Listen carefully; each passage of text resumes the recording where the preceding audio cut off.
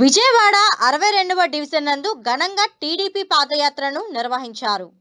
ఈ కార్యక్రమానికి ముఖ్య అతిథిగా రాష్ట్ర అధికార ప్రతినిధి బోండా ఉమామహేశ్వరరావు పాల్గొన్నారు. ఈ సందర్భంగా బోండా ఉమామహేశ్వరరావు మాట్లాడుతూ రామరాజ్యం రావాలంటే మరలా టీడీపీ బలపరిచిన కార్పొరేటర్ అభ్యర్థులను గెలిపించమని అలాగే రానున్న రోజుల్లో టీడీపీ జెండాను మున్సిపాలిటీ కార్యాలయంలో ఎగరవేస్తామని తెలిపారు. అనంతరం కార్పొరేటర్ అభ్యర్థి పద్మ మాట్లాడుతూ మా అరవై రెండవ డివిజన్లో టీడీపీ విజయాన్ని సాధించి మా ప్రియతమ నాయకుడు బోండా ఉమామహేశ్వరరావు గారికి కానుకగా ఇస్తామని ధీమా వ్యక్తం చేశారు.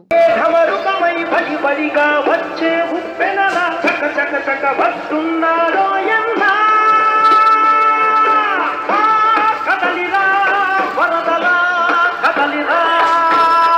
మార్చి పదో తారీఖున జరగబోయే కార్పొరేషన్ ఎన్నికల్లో మళ్ళా పేదవాళ్ళ జీవితాల్లో వెలుగులు రావాలన్నా ఒక ధైర్యంతో బతకాలన్నా ప్రజలందరూ కూడా మళ్ళీ తెలుగుదేశం పార్టీ రావాలని కోరుకుంటా ఉన్నారు.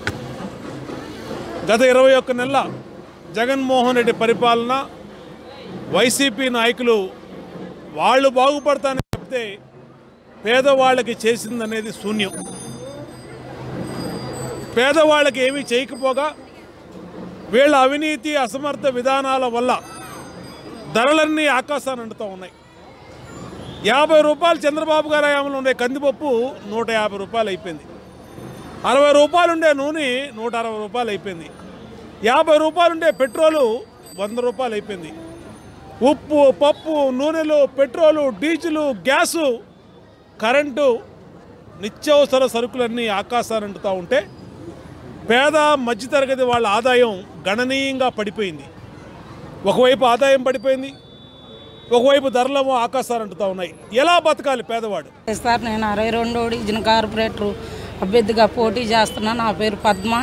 మాకు ఈ అవకాశం ఇచ్చిన బోండావు మా అన్నయ్యకి మా ఒక కృతజ్ఞతలు. మన డివిజన్ పెద్దలకు కానివ్వండి సీనియర్ నాయకులు కానివ్వండి మా కూడా నమస్కారం. మేము తెలుగు తరఫున పోటీ చేస్తున్నాం మా పార్టీని చేతిలో గిఫ్ట్గా ప్యాకి చేతిలో పెట్టడానికి మేము సిద్ధంగా ఉన్నాం. ప్రజల తరపున మేము పనిచేయడానికి ముందుకు వస్తున్నాం.